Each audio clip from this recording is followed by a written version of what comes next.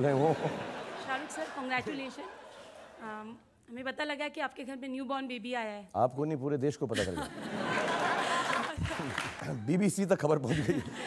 Sir आपने अपने baby का नाम अब्राम रखा है। सर मुझे जानना है कि अब्राम का मीनिंग क्या है और भी आपने बताया कि अपनी बच्ची के साथ आप बैठ करके टाइम स्पेंड किया। क्या आप जो आपके घर में न्यू बॉर्न बेबी आया है क्या आप उसके साथ भी टाइम स्पेंड करते हैं? आ, पहले तो बताऊँ हज़रत इब्राहिम हमारे फ़र्स्ट प्रॉफिट माने जाते हैं आ, इस्लाम में।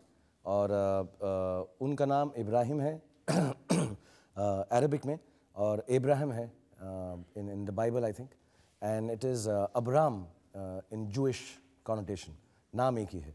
और मुझे ऐसा लगा क्योंकि मेरी वाइफ हिंदू हैं और मैं मुस्लिम हूँ और हमने हमारे बच्चों को हमारे घर के अंदर जो बड़ा एक सेक्युलर सा फीलिंग है कई लोगों को ये बात पसंद नहीं आती है समझ नहीं आती है कंट्रोवर्सी भी हो जाती बट मुझे ऐसा लगता है कि हमारे घर में हमारे देश जैसा सेक्युलरिज्म है सो so, जब अब्राम है विच मीन्स हज़रत इब्राहिम का एक कॉनोटेशन और राम की अब राम है so I think that's a Hindu connotation so I found it very lyrical